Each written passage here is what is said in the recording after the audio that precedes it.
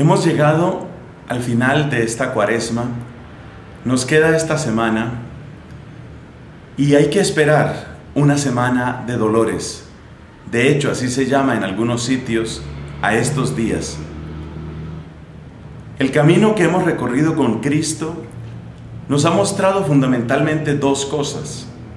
Primera, que hay una necesidad de cambio en cada uno de nosotros. Confrontados con la palabra de Dios, es decir, con el plan que el Señor tiene para nosotros, descubrimos evidentemente que necesitamos reforma, humildad, conversión.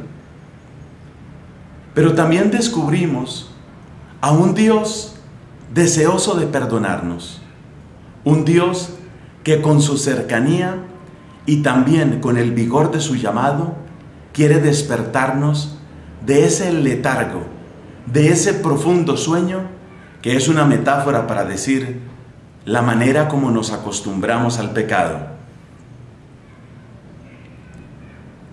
Pero el pecado no quiere salir de nosotros o nosotros no le queremos dejar salir. El pecado trae sus ventajas. El pecado trae sus beneficios. El que roba no roba porque sí. El que fornica no lo hace porque sí. El adulterio no se comete porque sí. Hay siempre un beneficio, un placer, un privilegio, una ganancia. Y esas ganancias y privilegios son los que nos mantienen amarrados al pecado. Por eso, cuando aparece Jesús por primera vez en nuestras vidas, quizás podemos sentir un vivo interés por este hombre tan sabio, por este hombre tan santo. Pero luego, este Jesús no está solamente de visita o de paso. Él quiere verdaderamente restaurar en nosotros lo más puro y hermoso de la imagen de Dios. Y esa restauración forzosamente requiere arrancar ese tumor que ha extendido sus raíces a buena parte de nuestra vida. Y eso duele. Y esa ruptura es la que está asociada con el proceso de la pasión.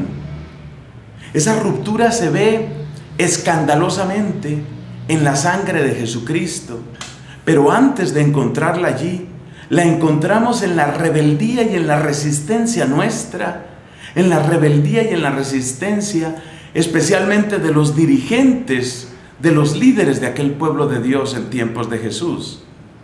Eran ellos los principales beneficiados por una serie de esquemas de pecado, por el orgullo, por la arrogancia, por el egoísmo, por la codicia, alrededor del templo, alrededor de la ley, alrededor del poder. Y ellos entonces, que tenían también asegurados sus privilegios, necesariamente tenían que ver con desconfianza primero y con fastidio después la predicación de Cristo, hasta declararle verdaderamente su enemigo. Y por eso están estas confrontaciones de estos días. Por eso tenemos que esperar que durante estos evangelios muchos de ellos tomados del capítulo octavo de San Juan, aparezca cómo las autoridades se rebelan, cómo las autoridades confrontan al Señor y cómo Él finalmente tiene que mostrar de qué lado está la verdad.